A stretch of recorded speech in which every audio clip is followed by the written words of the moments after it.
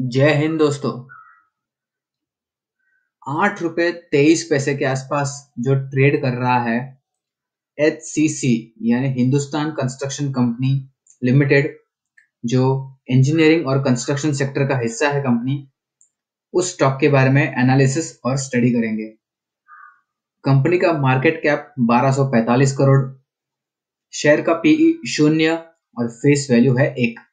और कर्जा जो है, उस पर हमें थोड़ा ज़्यादा ध्यान देना होगा, वो है तीन हज़ार तीन सौ सत्तर करोड़। जी हाँ थ्री थ्री सेवन ज़ीरो बारह सौ पैतालीस करोड़ का मार्केट कैप और उससे लगभग तीन गुना ज़्यादा कर्जा है कंपनी के ऊपर। जी हाँ नेगेटिव पॉइंट है। प्लीज़ इसे नोट करना बहुत ज़रूरी है।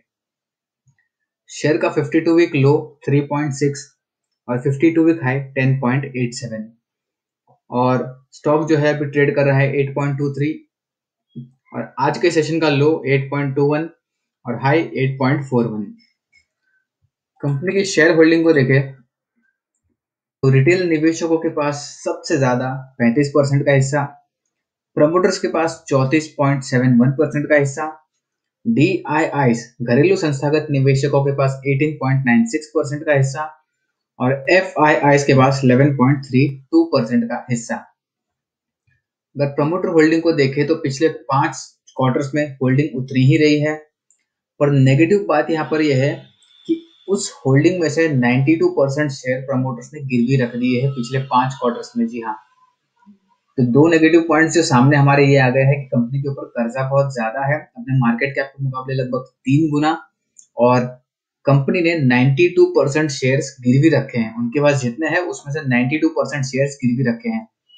पर जो चीज़ मेरे सामने आई है एक इंपॉर्टेंट फैक्ट जो मैं शेयर करना चाहूँगा इस कंपनी के बारे में।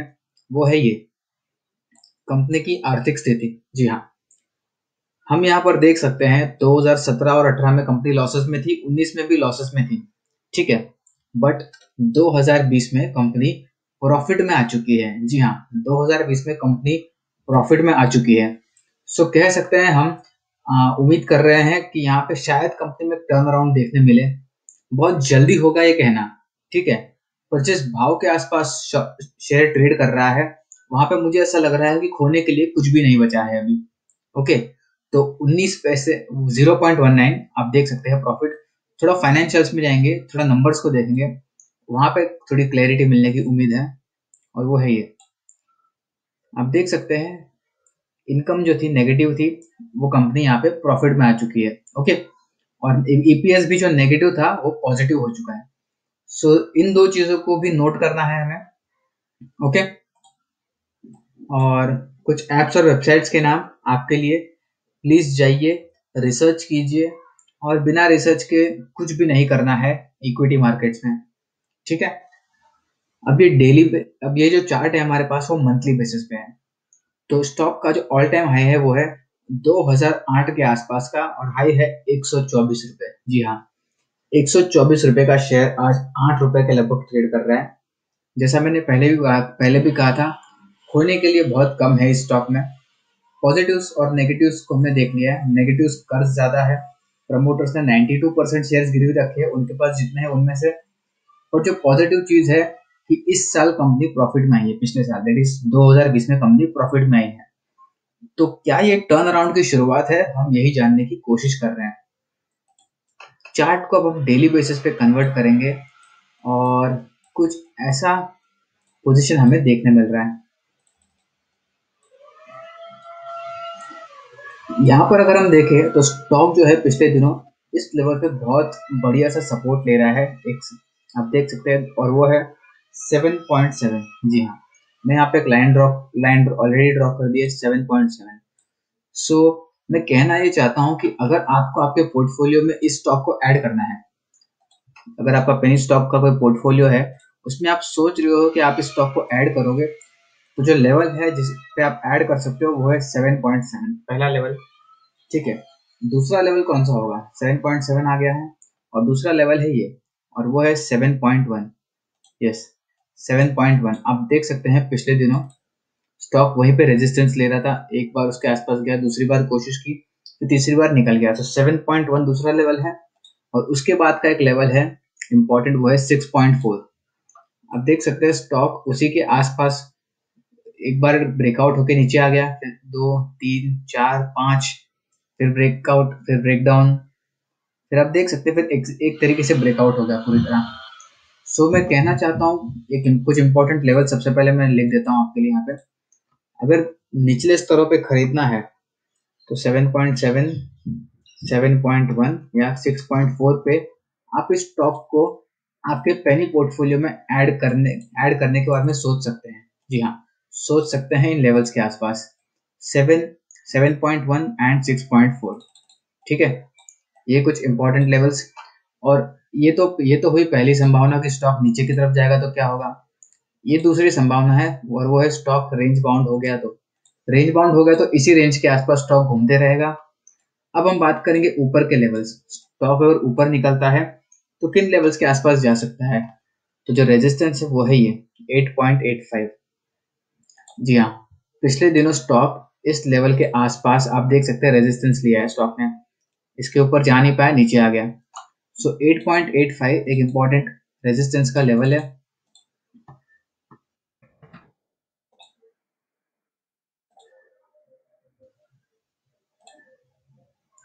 Yes yes. 8.85 एक इंपॉर्टेंट रेजिस्टेंस का लेवल है। इसे आप सभी से रिक्वेस्ट होगा प्लीज़ नोट कीजिए। तो ऊपर के लेवल सब आ सकते हैं तो कौन से आ सकते हैं? और वो है ये। अगर 8.85 के ऊपर स्टॉक निकलता है लाइक हमें क्लोजिंग मिलती है जो लेवल हमें देखने मिल सकते हैं। तो सबसे पहला लेवल जो है पिछले दिनों का, वो है ये 10.95 जी 10.95 के आसपास स्टॉक जो है, जाने की पूरी कोशिश कर सकता है।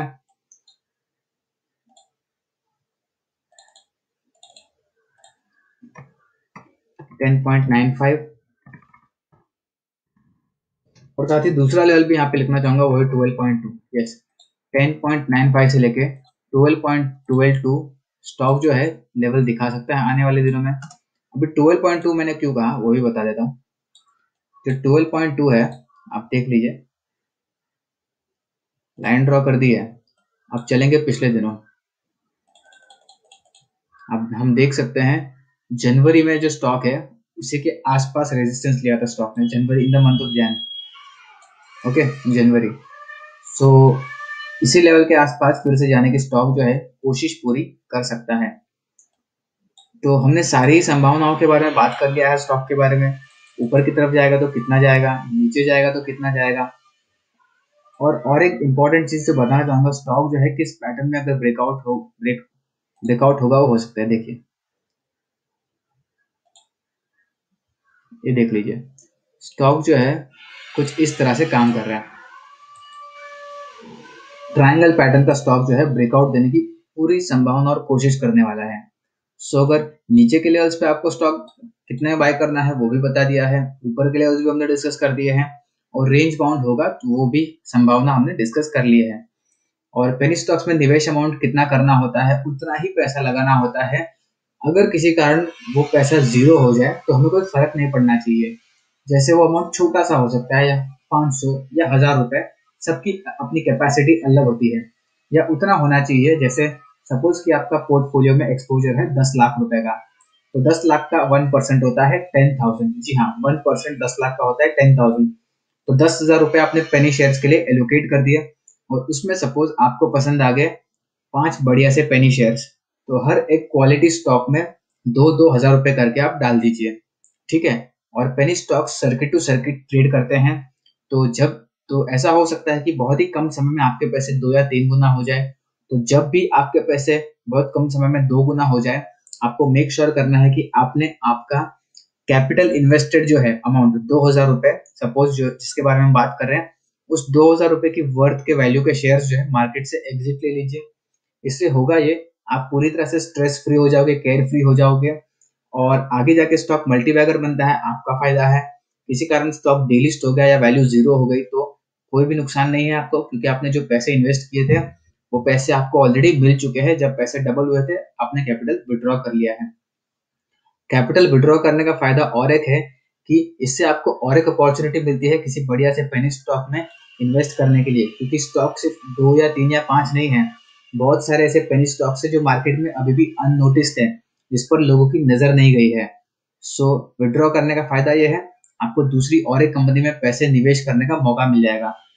सो अगर वीडियो आपको पसंद आई है तो प्लीज़ वीडियो को लाइक ज़रूर कीजिएगा। मोटिवेशन मिलती है आपके लिए ऐसी बढ़िया सी वीडियोस लाने के लिए एंड पूरी कोशिश होती है कि सात से आठ मिनट आठ मिनट के दरमियान ज़्यादा से ज़्यादा जानकारी आप आप तक आप तक वीडियो के माध्यम से पहुंचाई जाए। तो प्लीज़ वीडियो को लाइक कीजिएगा और पहली बार आया है तो प्लीज़ चैनल को सब्सक्राइब कीजिएगा। तो शुक्रिया वीडियो देखने के लिए। जय हिंद, वंदे मातरम।